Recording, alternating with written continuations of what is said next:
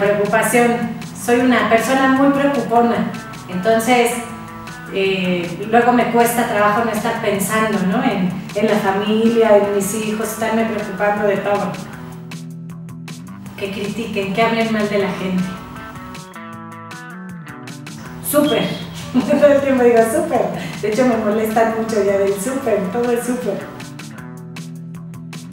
La muerte. Desarrollo organizacional de French Bell. Ese no sabes cómo lo consulto a diario para las propuestas y dinámicas de grupo. El último de los yeah, yeah, yeahs.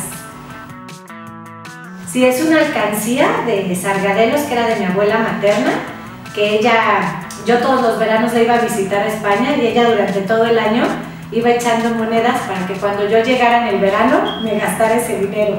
Entonces hasta la fecha lo tengo y sí es mi objeto material más preciado. Con Interestelar. Me encantó. De hecho ya está en el repertorio de mis películas favoritas. Me gustaría saber bailar mejor, sobre todo salsa. Me encantaría saber bailar salsa.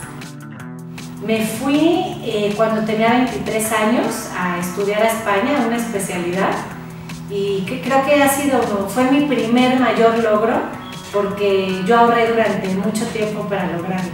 Entonces, se lo recuerdo con mucho cariño. Híjole, la independencia, la seguridad en sí mismo, la independencia también, la confianza, la credibilidad, la congruencia. Bueno, ya dije muchos, ¿verdad? Pero bueno, son los principales. la mujer biónica, me encanta.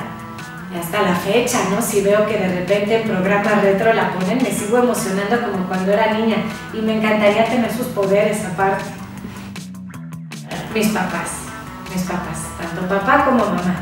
Los admiro muchísimo y ahora sí que más grande quiero seguir siendo como mi mamá. Y, y también copiar muchos modelos de mi papá, ¿no? sobre todo por los valores que nos inculcó como la importancia de la familia, de luchar por las cosas, de ser independiente, de ser alguien trabajador.